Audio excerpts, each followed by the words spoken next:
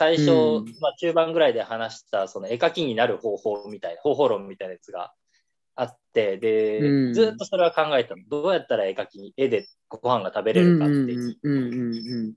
それって多分なんかこう、ポートフォリオを作ること、ポートフォリオっていうか、なんていうの、自分のプロフィール、うんを結局作っていくことでしかないなと思ったんだよね。で、うん例えば賞を取った人は、その奨歴を書いていくわけよ。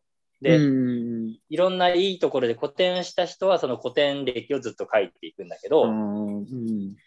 僕は、あの、とにかくいろんな国で、あの、うん。いろんな絵を描いてきたっていうことを僕の、あの、プロフィールにしようと思ったんだよね。うん。それで、逆に言う、逆に言うとっていうか、あの、賞を取るとか、どこどこで古典をするって、認められないとできないことなの。こう自分でやろうと思ってもできないそうね。うんうんうん。誰かがこう推薦してくれたり、誰かが選んでくれないとできないんだけど、うんこうくどっかの国に行って絵描いてくるって自分でやろうと思ったらできるんだよね。その、まあそうね。気合がある。うんうんうんだから、これは、あの、いい、いいぞと。いいぞというか、うん。うん。なんか、その、気合はさ、あるからさ、そう。やって自分の絵描きとしてのキャリアをうん。自分で作っていこうみたいなえ思ー。って、うん。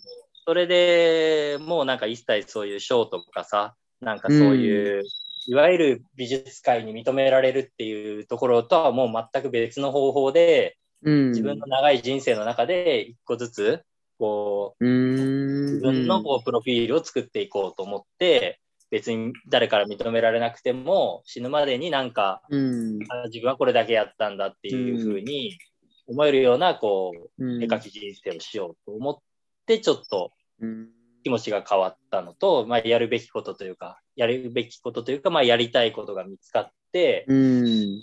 うん。だから、そうすると逆になんかだんだんまた見られ方も変わってきて、やっぱりだんだんその絵のお仕事が入ってくるようにもなってきて、うん。やっぱり、うん、なんかこう、認められよう、認められようとするとなかなかそうはならないんだけど、うん。もう自分はこれってやって、それひたすら打ち込んでると、逆にこう、うん。声をかけてもらいやすいというか、不思議なんだけど、うんなんかそういう、なんか状況になっていって、うん。なんかだんだんやっぱそういう活動してる人、ああ、面白いね。じゃあこういう仕事お願いしようかなとか、こういうことできるみたいなことを、なんかそれが一個の個性になったんだろうね。他の人が持ってないうん絵描きとしての個性ができて、うん。多分、あまたいる絵描きの中で、こう、うん独独特な存在感というか、そういう立ち位置に立つことができて、うんなんかこう、絵のお仕事をもらえるようにうんなるっていう感じだよね。